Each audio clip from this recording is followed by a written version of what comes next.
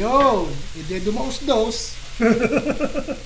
Pagkatapos lang ng ilang minuto eh, hiwain nyo na po't ayos na ire. O, gawa po tayo ng merienda ha. Kung kayo'y ah, gustong magminindal.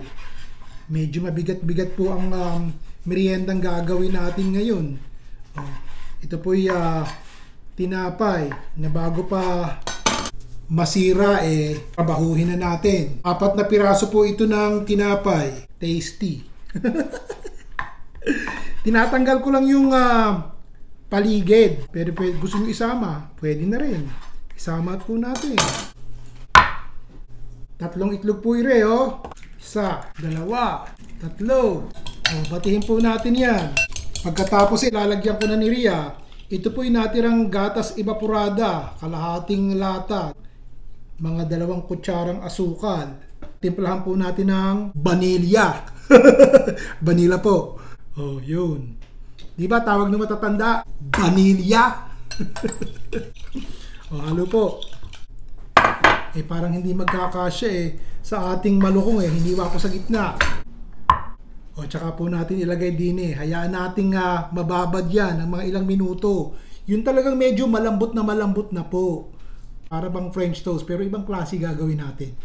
Gumamit po ako ng guantes at uh, hayaan muna natin yan. Eh, siguro po yung mga dalawang minuto para talagang uh, lumambot ng matindi yung ating uh, tinapay. Pagka mainit na po yung inyong uh, kawali, maglagay po tayo ng butter. Depende po sa butter na gusto nyo. Ito yung dalawang kutsara ng butter. Tunawin po natin yan ha.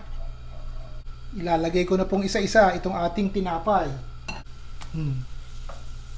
Maigit na pakinabangan yung uh, tinapay na kapit ng masira.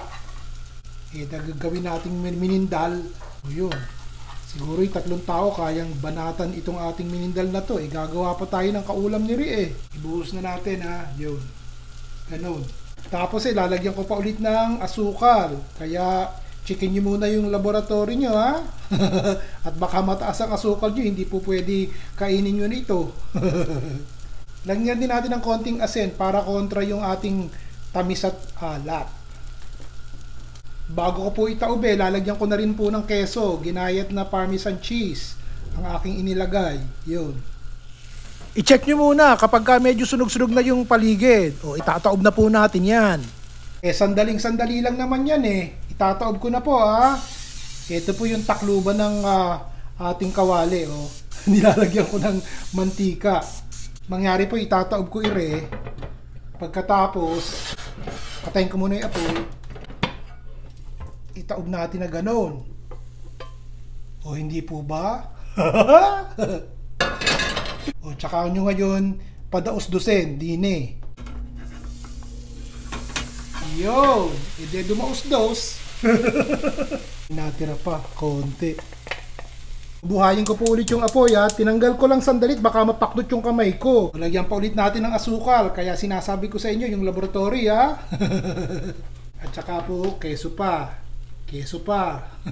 Kahit anong keso meron kayo ha. Mahina na lang apoy tapos takpan nyo po at nang maluto na yung ilalim at hindi naman matuyo yung ibabaw.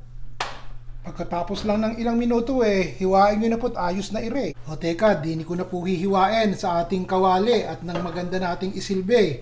Habang hinihiwa ko to't pinapalamig, ginawan ko po ito ng kaulam na merienda. Sasampulan ko po kayo ha. Madali namang gawin iri eh.